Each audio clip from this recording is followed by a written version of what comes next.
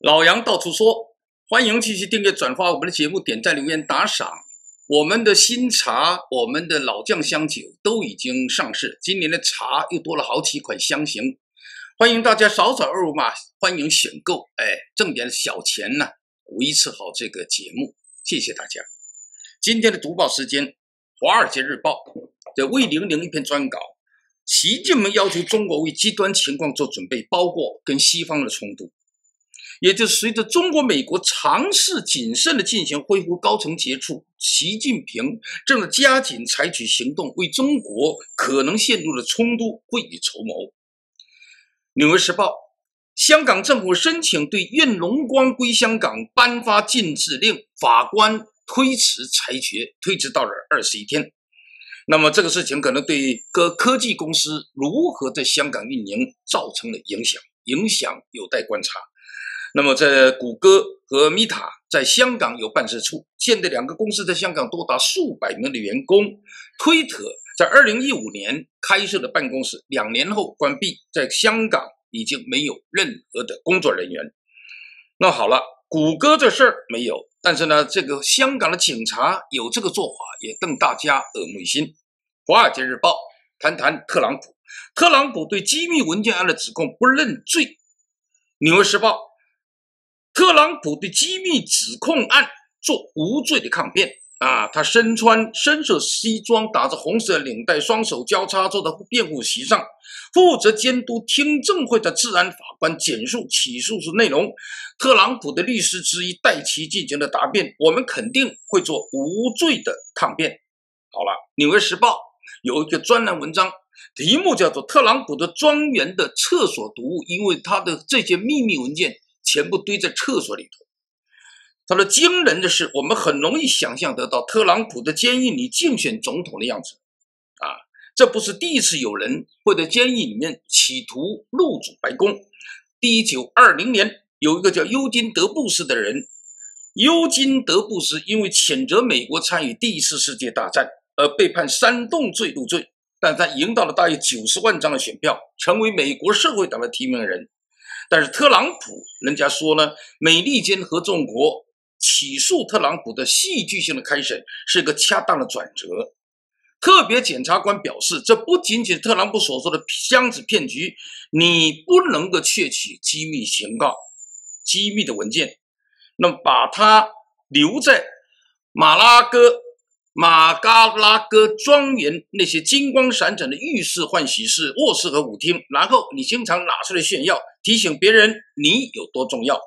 特朗普的致富就是他最大的弱点，他忍不住要自吹自擂。瞧，我有这么多的机密文件。那么目前来讲呢，特别的检察官史密斯有意提醒美国人，法治是美国这个国家的基本信条。《明报》的笔证。陈景祥的文章：新闻的力量是公共的利益，新闻自由和公共利益那么是挂钩的。一个文明社会必定坚守新闻自由的原则，因为新闻媒体揭露社会不公，把事实真相暴露在公众面前，本身就是一种强大的监督力量，足以制衡政府的公权力和利益集团的影响力。新闻自由值得珍惜，因为它揭露报道主要是关乎公共利益的大事儿。英国 BBC。头版头条：美中半导体大战进入了深水区，人工智能 AI 芯片为什么成为关键？哎，这个时候来讲呢，有人认为疫情期间过度的生产芯片，预期今年面临生产趋缓的半导体产业，却因为 AI 晶片的需求暴增，再次成为全球的焦点。而全球发展 AI 晶片的龙头是美国的英伟达，也外面叫做辉达，一夜之间呢，这个市值暴增。甚至超过了台积电、三星，哎，这个黄仁勋已经成为了国际金融科技界新的亮点。当然，AI 晶片和 AI 芯片没有办法回避地缘政治的影响。那么，这个芯片的后面是美中半导体另外一场大战，就像石油在一百多年前一样，半导体是没有办法逃避地缘政治的。美中的高科技战，尤其是半导体的战，已经进入深水区。美国是不是会循台积电和华为模式，开始全面禁止美国生产的 AI 晶片销往美中国，成为各界关注的焦点？那么中国的 AI 发展平台还是没有如同 ChatGTP 或者谷歌那么的上寸，因为在用完了美国买来的高高科技的高阶的芯片之后，中国的 AI 发展势必会遭受阻力。那么全世界都在前仆后继的对 AI 在半导体领域的研究发展，今年会有很大的进一步突破。关键的关键是生成式的 AI，那么中国还是谁？会领先 AI 晶片的生产呢？那么来讲呢，不管怎么说，除了英伟达，有人认为未来 AI 晶片的发展潜力会平静，台积电都扮演着重要的角色。《纽约时报》有一个专栏：人工智能真的能毁灭人类吗？这个呢，上个月人工智能界的数百名知名人士签署了公开信，警告 AI 是有朝一日可能毁灭人类。公开信只有一句话。减轻人工智能灭绝人类的风险，应该与大流行病和核战争等其他社会规模的风险一起成为全球优先的事项。他说：“这是对人工智能做出不祥警告一系列公开信最新的一封。”那么，这个突出的是缺少细节。今天的 AI 系统不能够毁灭人类。其中有一些系统只能勉强做加减法，那为什么这些最了解 AI 的人有如此的担心，尤其做出了吓人的预测？有没有迹象表明 AI 可以做到毁灭人类这一点呢？目前还没有。那么 AI 系统是从什么地方学坏的呢？因为呢，ChatGPT 这样的 AI 系统是建立在神经网络上的数字系统，是通过分析数据来学习技能的。那么这些人呢？包括 AI 以后会学到更多的坏习惯，那么警告的背后都是谁呢？都是懂得人工智能的危险，因为他们最适合构建 AI 系统的人。好了，是目前不会产生影响，以后难说。好了，罚款。法国媒体说，梅西的踢球给习近平一个精美的生日礼物啊，这这不是偶然的。那么这一天来讲，习近平也许不会看到中国获得世界杯的梦想成真，但至少在体育界，有人希望中国国家主席能收到这么一份精美的生日礼物。哎，有意思。他说：“这个中国的球迷对梅西那种疯狂啊，那不得了，真的是疯狂。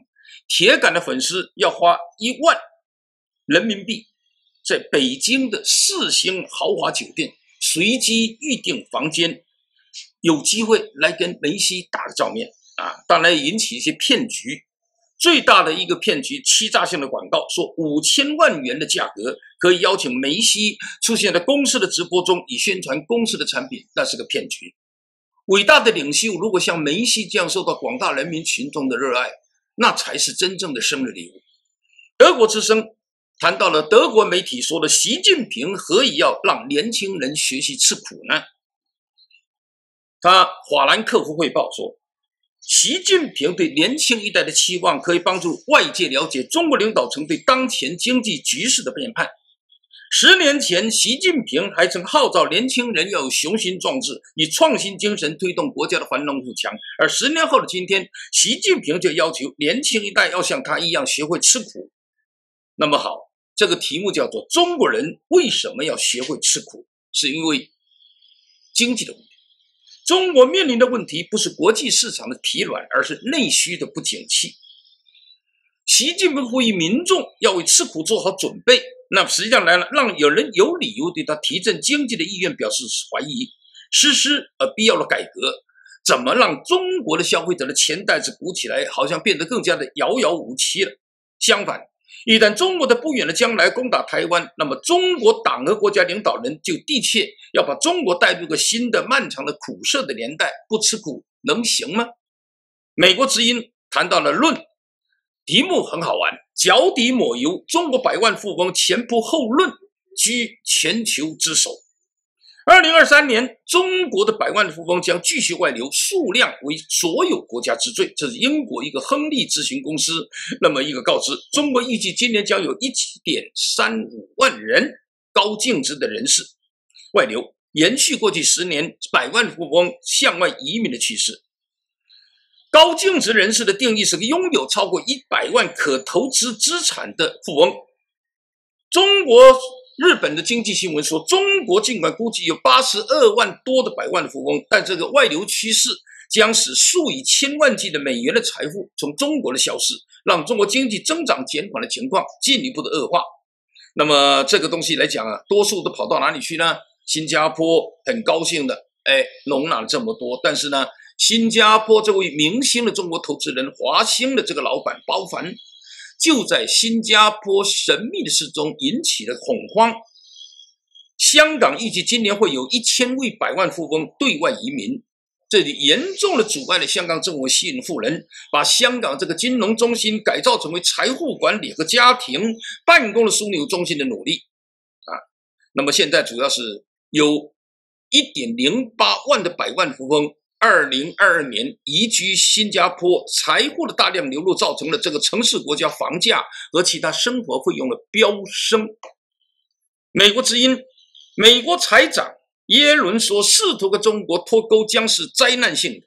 这是在六月十三号在众议院的一场听证会上表示，世界银行等国际金融机构有助于平衡中国，而美国试图跟中国脱钩将是灾难性，是一个大的错误。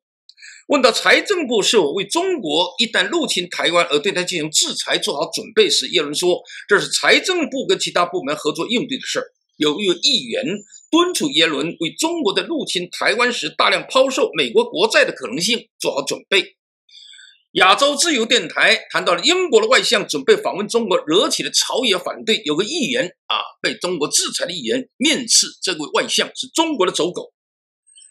那么，英国媒体说，如果外相要访问中国，将有部长级的官员辞职抗议。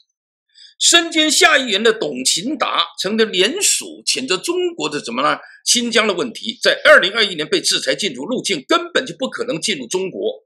哎，他的意思呢？这个布莱恩特说，你基本上就是和中国一唱一和，只要中国奏乐，你就会起舞，你就是一只中国的走狗，他们要什么你就去做。嘿，有意思。外交部长，想象一下，秦刚如果被人大代表骂成是走狗，那个人大代表会怎么样？秦城的干活。德国之声，德国即将发布安全的战略，对中国言辞即将更加的尖锐。看来来讲，内容将出现针对中国在国际上构成的挑战更具批判性的言辞，因为德国的对华政策要跟欧委会保持一致。加拿大新闻网。国企的高层当街脱小三，那就是胡继勇。那么习近平呢，就发了一个拜登跟蔡英文逛街这个 P 图，遭到了微博的屏蔽，网友批他很低俗。哎，胡继信留言反问：难道台湾不就是美国的小三儿吗？并认为他是没有低俗这么一说。这是我们今天读报的内容。好了，特朗普。曾被特朗普被美国的起诉指控，而他也聘请了律师团为他做无罪的辩护。这里面凸显的是美国的法治精神。如果没有法治，如果没有新闻传媒的第四权的监督，特朗普的文件门也未必能如此之快为大众所知晓，如此之快被美国的法院所指控。这是美国制度性的一种优越。在其他国家，比如朝鲜或者类似朝鲜的国度的制度，这一类的正国级领导人被依法起诉，至今仍然无法想象。四人帮那只是一个呢，一个法治精神之外的例外。第二，《华尔街日报》等媒体对习近平近期频繁发表极端的讲话做了全面的分析。那么两句话大家注意到了。构建国内大循环是为了保证极端情况下国民经济能够正常运行，这跟参与国际经济环境循环是不矛盾的。第二，构建新的发展格局，首先要把国内大循环搞好，这是治本之策。双循环不是要搞闭关锁国，而是当别人不给我们开门的时候，我们自己还能活下去，活得更好。极端思维、极限思维，是不是意味着？在各方面要做出破罐破摔的准备呢。第三，AI 时代的危机如何面对？人工智能大时代对人类构成的威胁如何准确评估？AI 是否是中国特色社会主义另一条解困之道？这是世界性的前沿话题。但我们现在还在为国家安全青年人就业或者一首歌要不要禁，要不要禁止传播，伤透脑筋。我觉得这就是显而易见的代差。第四，舆论批评胡锡进过于低俗，对此的评价我没有太多的意见补充。问题是胡锡进这一代人，这一类的人什么时候高雅过呢？老杨可以说，老杨到处说。